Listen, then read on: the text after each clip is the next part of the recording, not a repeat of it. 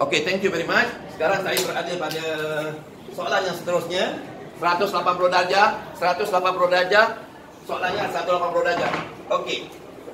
Berapakah pusat dalam soalan tersebut? Dalam buku yang anda hadap sekarang. Pusatnya berapa?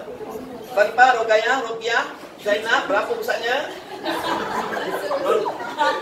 Kosong Dalam kosong. soalan Baisan.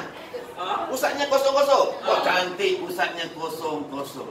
Berapakah objek yang nak dirotetkan 180 darjah itu? Negatif 2, 2. Negatif 2? 2. 2. Maka T tolak.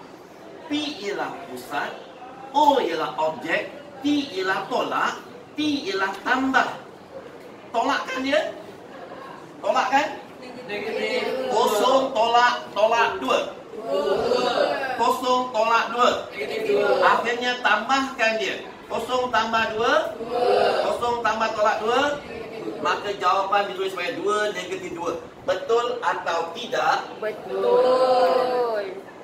Kalau 100 tambah berajar menggunakan kaedah kon pusat objek tolak tambah untuk 180 darjah. Saya rasa itu saja. Sekian terima kasih.